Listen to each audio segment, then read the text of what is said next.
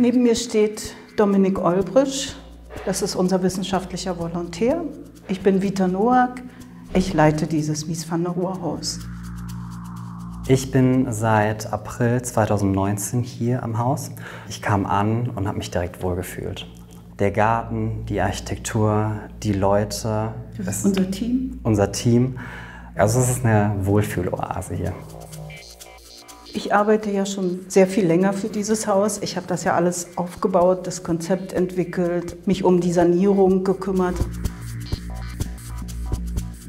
Das Haus ist ein Beispiel der klassischen Moderne. Es ist ein ganz schlichtes, relativ kleines Haus, aber in Verbindung mit dem Garten wird es unendlich groß.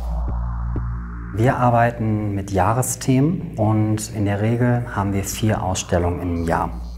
Wir sind aber auf keine bestimmte Kunstgattung beschränkt. Das heißt also, wir zeigen Architektur natürlich, Fotografie, Malerei, Skulptur, Licht, Videokunst, Installation. Und zu diesen Jahresthemen gehören sowohl Ausstellungen als auch Symposien, Vorträge, Rundgänge, viel Kunstvermittlung.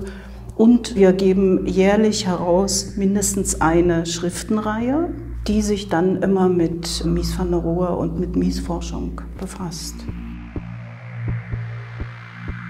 Wir haben eine sehr schöne Webseite, wo alle Informationen stehen.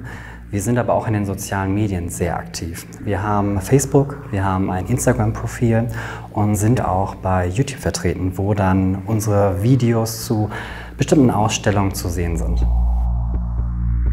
Die Menschen, die zu uns kommen, die bleiben lange da? Ja, die wollen auch gar nicht mehr weg. Die wollen nicht mehr weg. Wir merken immer, jeder fühlt sich wohl. Also man hat sofort ein Glücksgefühl. Und darin sieht man natürlich auch die Meisterschaft von Mies van der Rohe, wie man das hinkriegt, Architektur mit der Natur zu verbinden.